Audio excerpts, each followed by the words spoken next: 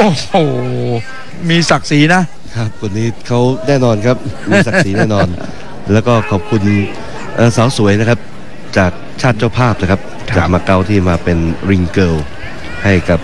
รายการศึกมวยไทยวอริเออร์ในครั้งนี้นะครับ นี่คืออาจจะเรียกได้ว่าเป็นคู่เอกหรือเป็นไฮไลท์ของรายการวันนี้นะครับ ฝ่ายแดง ยอดมวยครับที่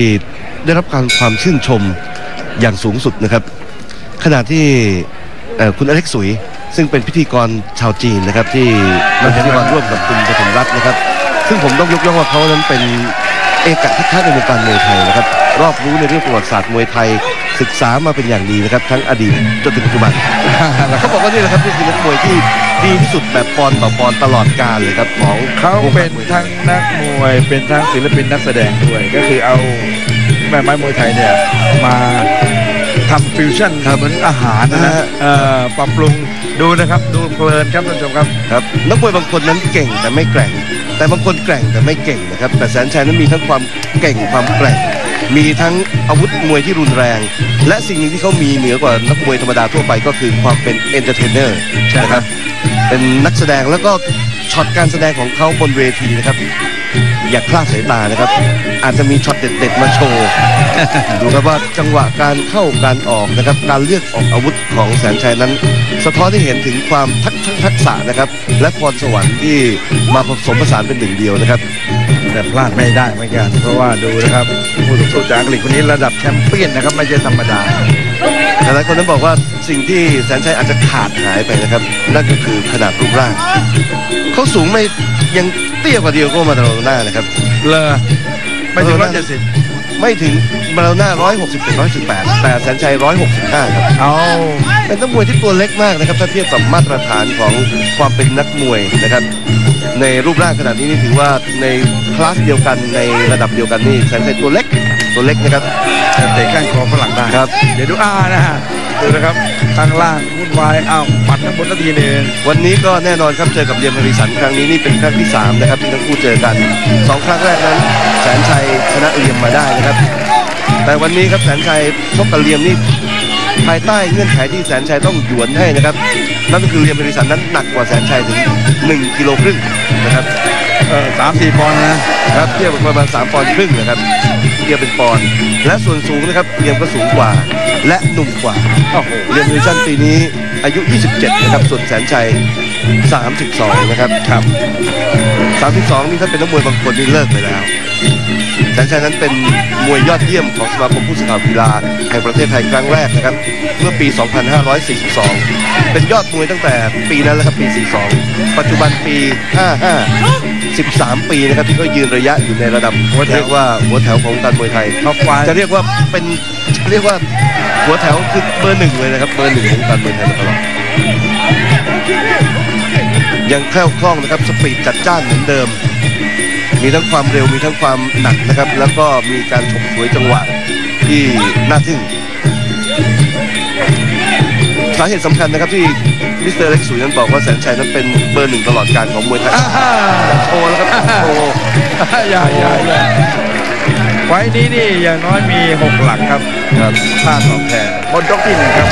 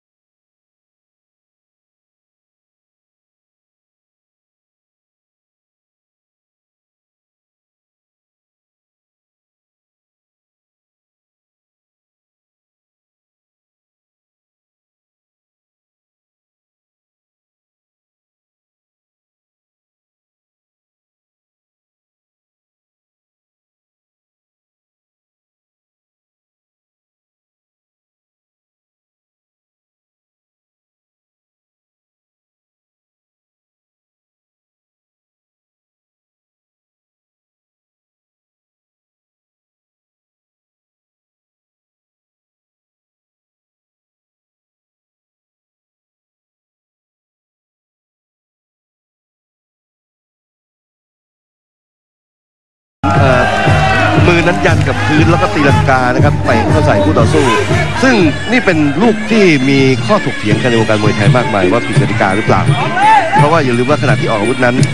นวมข้างหนึ่งนะครับไปสัมผัสกับพื้นแทนที่จะเป็นเท้าสัมผัสนะครับไม่ได้กลายเป็นอวัยวะส่วนอื่นที่ไม่ใช่เท้านะครับเป็นสัมผัสกับพื้นเวที จริงๆแล้ว จะอนุโลมได้ไหมนะครับ หลายคนก็บอกว่า เอ๊ะความจริงเป็นช็อตโชว์ที่สวยงามมาก ดูแล้วน่าตื่นตาตื่นใจทำไมถึงไม่อนุโลมหรือว่าอนุญาตให้ใช้นะครับ ก็ยังเป็นปัญหาถกเถียงกันต่อไปครับ เรามาดูกันยกที่สองนะครับ ไม่ใช่เกมรุกเก่งอย่างเดียว เกมเกมป้องกันตัวก็ก็ได้นะครับก็นั่นคืออายุ 30 กว่าครับก็ยังอยู่อ่ายังอยู่ในระดับสุดยอดของการมวยไทยนะครับ ตัวเท่าๆกันนี้ไม่มีตัวสู้ ไม่บอบช้ำมากครับอ่า แล้วก็จุดหนึ่งครับที่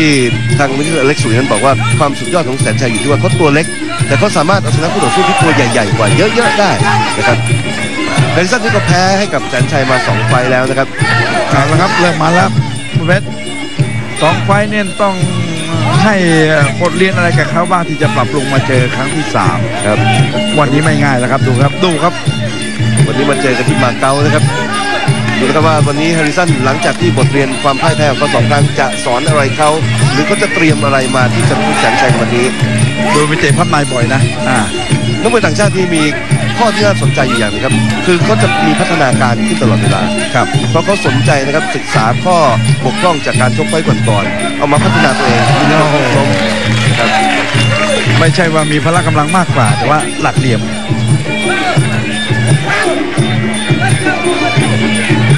เรนซันก็ต้องเป็นฝ่ายบุกเบียดเข้าหานะครับในขณะที่แสนชัยนั้นก็อย่างว่านะครับตัวเล็กกว่าก็ต้องอาศัยความเร็วอาศัย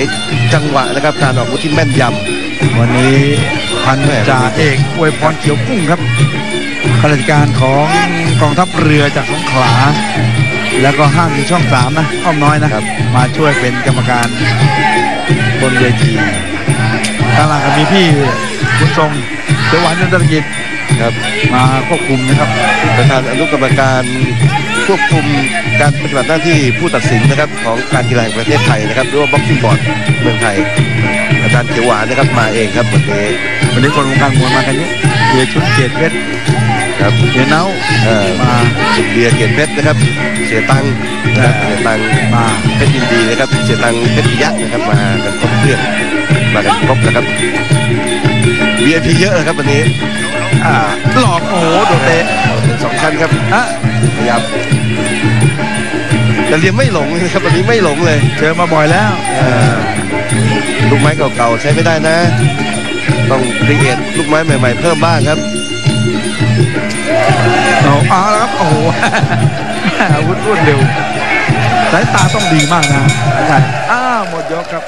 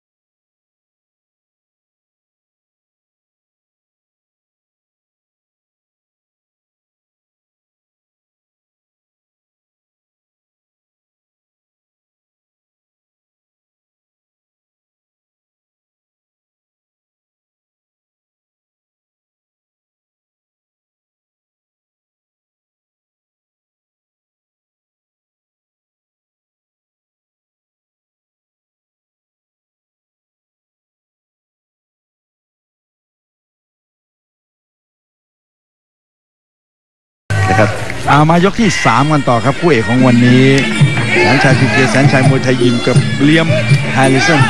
ครับจากอังกฤษนะครับจากเมืองลีดนะครับจากลีดปัจจุบันนี้เขาสังกัดค่ายมวยแบ็คคัมปานีนะครับในเมืองลีดประเทศอังกฤษครับแต่ถ้ามาซ้อมมวยไทยที่เมืองไทยจะซ้อมอยู่ค่ายจิตติยิมนะครับที่แถวซอยโชคชัยร่วมมิตรโอ้โหมีบ่อยๆ ครับมีให้เห็นนะครับแต่ยังใช้กันยังไม่ได้ผลจัดจะจังๆ แฮร์ริสันก็หัวเราะไปนะครับแหมไม่เป็นไร คุณมีโชว์ แต่ผมมีชาร์ปนะ รู้จักกันดีครับ แต่ว่าบนเวทีนี่เนี่ยก็อาชีพแล้วก็วิชาชีพเล่นเต็มที่ให้คนดูมีความสุขเหลี่ยมเชิงเขาก็ใช้ได้นะครับสำหรับเดมริสัน ยิ่งชกยิ่งพัฒนาครับ มีเดี๋ยวนี้มีสปีดมีความเร็วนะครับ เอาเขี่ยล่างนะผมดูเขาแล้วผมคิดถึงใครรู้ไหมรามอนเดกเกอร์นะคุณนะคล้ายๆกันนะครับ อ่า เอ่อชาวฮอลแลนด์นะครับชาวฮอลแลนด์ เดกเกอร์ไอ้กังหันนรกครับ แต่เดกเกอร์นั้นประเภทหนักครับหนักรุนแรง แต่แฮริสันนี่ถือว่าออกอาวุธมวยไทยได้คล่องนะครับ เป็นมวยฝีมือคนหนึ่งเลยทีเดียวทีเดียวนะครับ มีหมัดมีเขี่ยล่างต่อยบน เอา เอาโดนฟรีคิกครับฟรีคิกใช่ครับขยับข้างบนนะครับเขี่ยล่างเอาแล้วครับ ต้องแก้ตัวแล้วครับวันนี้เขาสั่งว่า Bad Company นะฮะครับข้างหลังที่ค่ายของเขาที่อังกฤษครับวันนี้ลูกพี่นะครับหัวหน้าค่ายคือริชาร์ดสมิธก็มาคุมทีมเองนะครับเอาแล้วครับอ้าวแต่ใจว่าไงเกาะเกาะเกี่ยวเอาหักล้มลงไปดีกว่าครับ ไม่ต้องตี ไม่ตีนะครับใช้วิธีหักเดี๋ยวล้มนี้ลงไปพี่ข้างเขีเชืยอวหวานบอกว่าถ้าปล้ำกันแล้วก็ไม่ออกอาวุธเนี่ยแยกเลยครับทันทีเลยนะ จะสังเกตได้ว่าเอ่อนักมวยที่มาชกในการมวยไทยวอริเออร์ส่วนใหญ่นะครับ ไม่ค่อยไม่ใช่มวยปล้ำปล้ำเบียดกันไปถูกันไปถูกันมานะครับ ส่วนมากถ้าเข้าในไม่มีอาวุธอะไรนี่กรรมการก็ชิงแยกแล้วนะครับ ต้องออกอาวุธนะครับต้องออกอาวุธให้เห็นชัดเจนนะครับปล้ำไปปล้ำมาไม่ออกอาวุธนี่ มาชกในรายการแบบนี้ไม่ได้นะครับโอ้โหดูเตะสะบัดนี่แหละครับอ่าลีลาของเอาละแสนชัยครับเริ่มลีลาโชว์แบบแสนชัยนี่ชนะนี่เป็นเรื่องปกติแต่ว่าชนะแล้วต้องประทับใจด้วยนี่เป็นโจทย์ที่เขาจะต้องทำตลอดนี่แหละครับอ่ามีลูกใหม่ๆมาขออภัยเอาละโอ้ยจะนี่น็อกปะทีนะทำท่าจะชกเป็นแค่สองเนี่ย ไปน็อกที่ประเทศจีนนะครับแต่เฮลิสันนั้นไม่เหมือนนักมวยจีนนะครับนักมวยจีนนั้นหลวมไปนิดนึงเลยโดนแสนชัยนั้นอ่าสอกนะครับโป๊ะเดียวน็อกเลย แต่เฮลิสันนั้นรู้เชิงดีครับหลบหลีกไปได้เตะโต้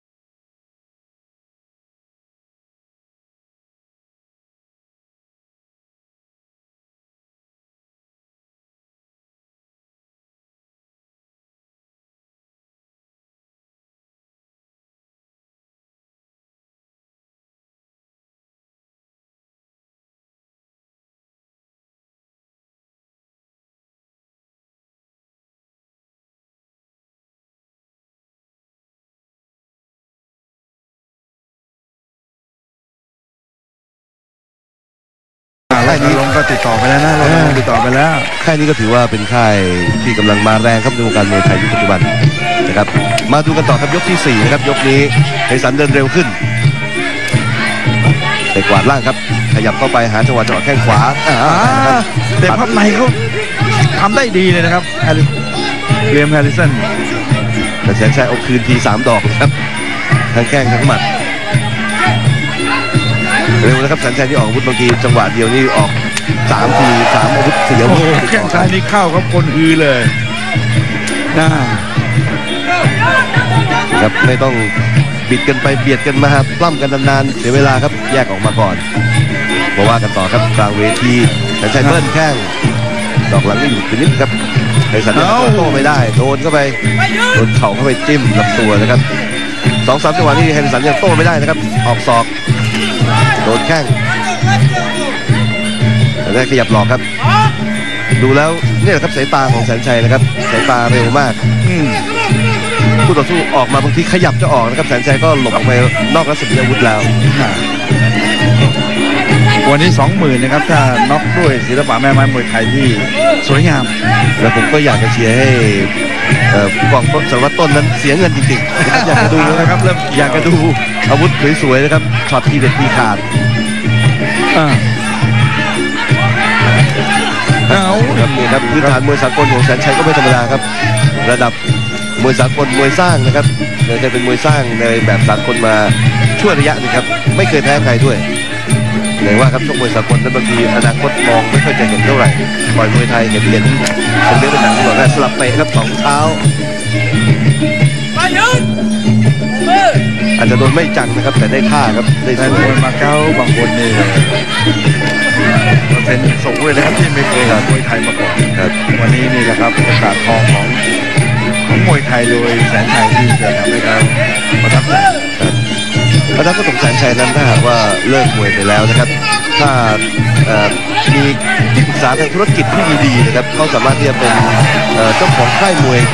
ที่มีชื่อเสียงในระดับโลกได้เลยนะครับ ใช่ครับเพราะฝรั่งนั้นเหตุผลอันดับแรกที่มาเรียนก็คือเขาจะเรียนคนเก่ง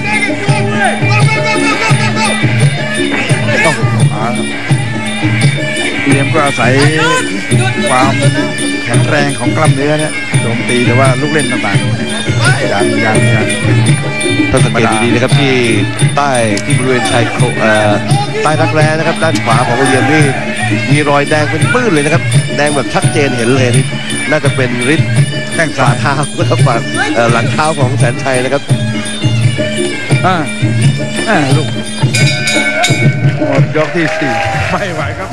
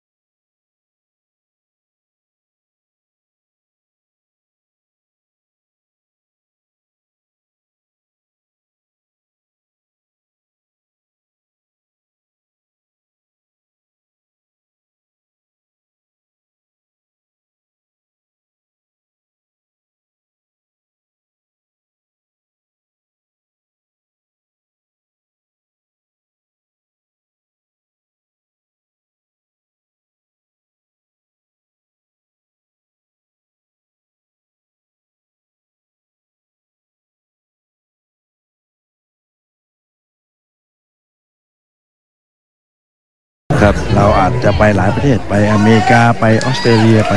เกิดบุกเข้าไปเอาละครับเรามีแม่เหล็กสำคัญก็คือนี่นะครับ แสนชัย ยกสุดท้าย ดูสิว่านักมวยจากสารคามครับ จะฝากความประทับใจด้วยลูกอะไรชนะนั้นคงไม่ค่อยเป็นปัญหานะครับ แต่ดูที่ว่าดูกันว่าแสนชัยจะฝากอะไรในฝากความประทับใจแบบไหนนะครับ ปกติขึ้นเวทีก็จะเซิ้งนะอ่าแต่วันนี้เป็นโอกาสพิเศษ วันนี้ก็แสดงให้เห็นหลายหลายช็อตนะครับ มีเตะสองชั้นนะครับ กระโดดเตะแล้วก็มาร์ดีดกระโหลกนะครับ โชว์ให้เห็นกันไปแล้ว ยกนี้จะมีอะไรอีกไหมจะมีศอกกลับมีลูกพลิกแพลงอะไรมาแสดงอีกนะครับอ่าอ่าแหม่ ลูกเตะดีดนี่ครับเตะได้ธรรมชาตินะครับดูดูถ้าจะเอากันในแง่ของเรื่องของศาสตร์มวยไทยนะครับแสนชัยนั้นออกแข้งได้ธรรมชาติมากเร็วนะครับเร็วแล้วก็สะบัดออกไปจากสะโพกนะครับอ๋อลูกนี้หักเหลี่ยมนะครับนี่นี่ยังเป็นจุดอ่อนอย่างหนึ่งของนักมวยชาวต่างชาตินะครับในเรื่องของการเหลี่ยมปล้ำเหลี่ยมปล้ำในนะครับ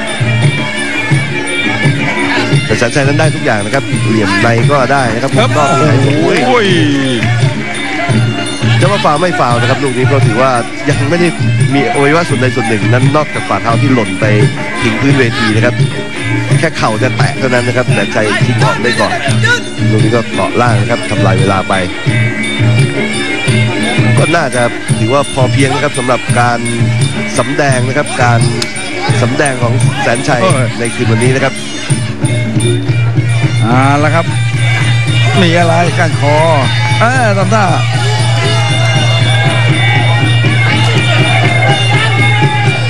ก็น่าจะเป็นรอบที่ 3 นะครับมวยคู่นี้ครับ ที่แสนชัยนั้นไม่น่าจะไม่น่าจะพลาดพลั้งนะครับเดฟริสันก็น่าจะแบกความปราชัยกลับยอมนะครับไฟที่สามยอมนะนะครับ จะมีไฟสี่ไหมล่ะนะครับโอ้โห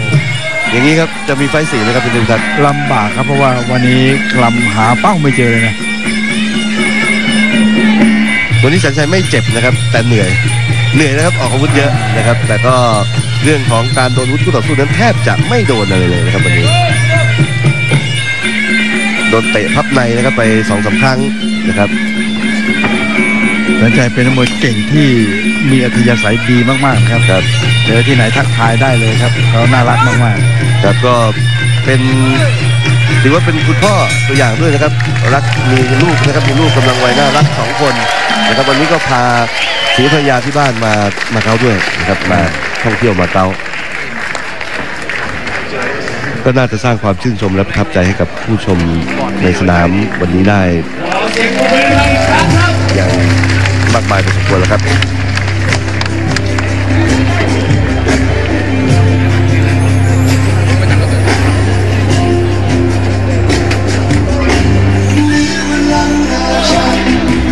不问积极的怀民庆 และผลการแข่งขันนะครับแชมเปี้ยนมวยไทยอาชีพโลกรุ่นเบอร์เวทได้แก่แสนชัย